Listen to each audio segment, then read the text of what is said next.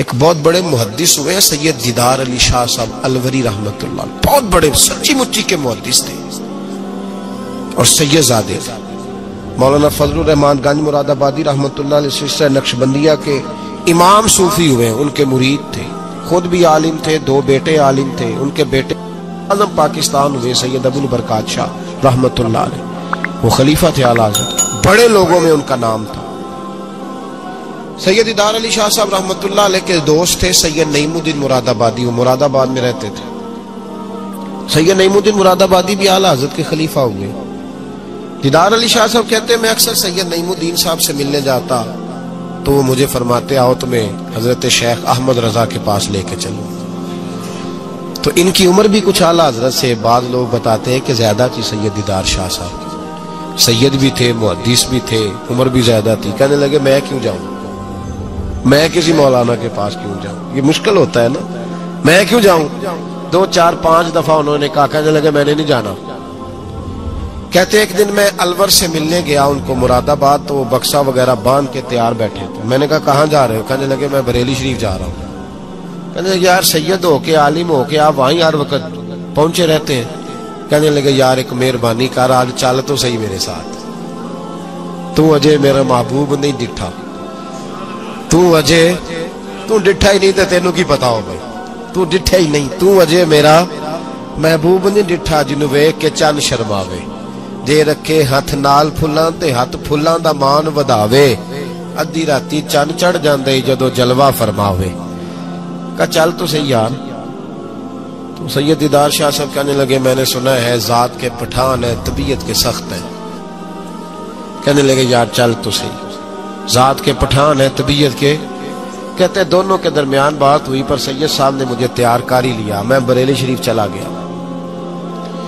फरमाते जब हम बरेली शरीफ पहुँचे तो रजा मस्जिद के अंदर ना असर की जमात हो रही सैयद नईमुद्दीन साहब रहमत का वज़ू था, वो जमात में शामिल हो गए तो मस्जिद के बाहर कुआ था। मैं वहाँ चला गया, वज़ू करने के लिए तो एक छोटा सा बच्चा था, आठ दस साल का, उसने पानी निकाला हुआ था वज़ू करने के लिए। सैयद इदार शाह साहब कहते हैं, मैंने जल्दी से जाके ना पानी उठाया। मैंने कहा कोई खादम है, नमाजियों को वज़ू कराता है। मैंने पानी उठाया तो बच्चा कहने लगा, बाबा जी, इजाज़त तो ले लो पहले। तो मैं चुप कर गया। तो मैंने कहा, चलो, इजाज़त दे दो, वज़ू करना है। तो कहते हैं, बच्चा कहने लगा, आपको मसले का पता होना चाहिए कि नाबालिग अपनी मर्ज़ी से भी अपनी चीज़ किसी को नहीं दे सकता। फरमाते मेरे उसी वक्त दिमाग में घंटियाँ बजी, मैंने कहा, सैयद दीदार अली शाह अहमद रजा के मदरसे के तो नाबालिगों का इलम भी तुझसे ज़्यादा है। उसके मदरसे के तो नाबालिगों का इलम भी तुझसे ज़्यादा है। छोटा बच्चा कहने लगा, आपको मसले का नहीं पता कि नाबालिग अपनी मर्ज़ी से भी अपनी शय नहीं दे सकता। फरमाते, उसने वज़ू किया, फिर उसने खाली किया बर्तन, फिर मैंने पानी निकाला, वज़ू किया। अब सैयद साहब तो मिल गए थे एक रकत में। मैं था या सैयद साहब थे जब हमारी बात हुई थी।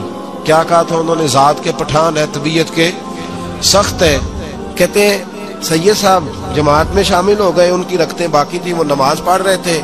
आला हज़रत मस्जिद की सीढ़ियाँ उतर रहे थे, मैं चढ़ रहा था। रस्ते में मुलाकात हुई। तो फरमाते हैं, फाजले बरेलवी ने सैयद समझ के मेरी बड़ी कदर की। उन्होंने जो झुक के सलाम किया और मेरी दस्त बोसी की और मुझे सीने से लगाया तो मैं उनकी तबीयत पे हैरान हो गया। सुना कुछ था। और मेरा, और फिर किसी ने तारफ भी नहीं कराया। मेरी आँखें देख के समझ गए, सैयद ज़्यादा है। फरमाते, मैंने ना धीमे लहजे, मुतासर ही बड़ा हुआ तो मैंने धीमे लहजे में एक बात पूछी।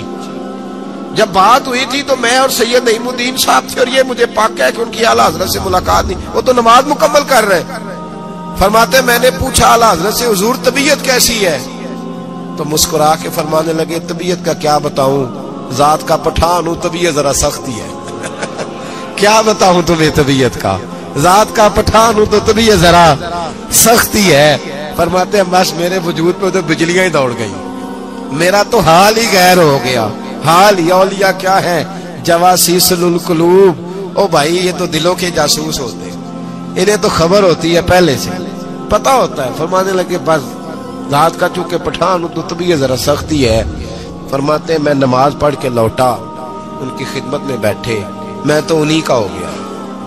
मुझे तो खरीद लिया। तेरी पहली नज़र का वार तौबा। दिल अब तक दुआएँ दे रहा है। कहते, बस मैं तो उन्हीं का होकर रह गया। अब हाल बड़ा मुनफरद हो गया। कहते, जाने का वक्त आया तो सैयद नईमुद्दीन साहब फरमाने लगे, चले, मैंने कहा आप जाए। मैं तो इधर ही रहूँगा। आला हज़रत रहमत बसीरत की रोशनी, तकवे की। और सारी ज़िंदगी दस कह दिया, रसूलुल्लाह से प्यार करो। नबी पाक से सारी। और पता है ज़िंदगी क्या थी फाजल बरेलवी की? नेमत बांटता जिस सिमत वो जी शान गया। साथ ही मुंशी रहमत का कलम दान गया। इन्हें जाना, इन्हें माना, न रखा गैर से काम। लिल्लाहिल्हम्द मैं दुनिया से मुसलमान गया। और मदीने जाते थे तो दरे रसूल पे खड़े होके कहते थे, चमक तुझ से पाते सब पाने वाले। मेरा दिल भी चमका दे, चमकाने वाला मैं मुजरिम हुआ का मुझे साथ ले लो कि रस्ते में है जा बजा थाने वाले। और फिर तड़प उठे। कहने लगे झूठे हैं। जो महबूब की ज़िंदगी के कायल नहीं, तड़प उठे। दो कस्में उठाई एक शेर में। कहने लगे, तू ज़िंदा है वल्ला। तू ज़िंदा है वल्ला। मेरी चश्मे आलम से छुप जाने वाले। फाजिल बरेलवी रहमतुल्लाह ने ढांगी बदल दिया। ढंग रंग ही बदल दिए, इश्क रसूल की तहरीक बन गए आला जहाँ उनका नाम आएगा, साथ हुजूर की नाते भी आएँगी। जहाँ उनका नाम आएगा, हुजूर के हुसन जमाल का तस्करा भी आएगा। जहाँ उनका तस्करा आएगा, वहाँ महबूब की गुलामी का ज़िक्र भी आएगा। आला हज़रत का जहाँ ज़िक्र कयामत तक किया जाएगा तो लोगों के दिलों में जो चीज़ हरारत बन के उभरेगी, वो रसूलुल्लाह की मोहब्बत होगी। मैं अक्सर कहता हूँ, है ये पैगाम हज़रत अहमद रजा। बारगाह नबी के रहो बाबा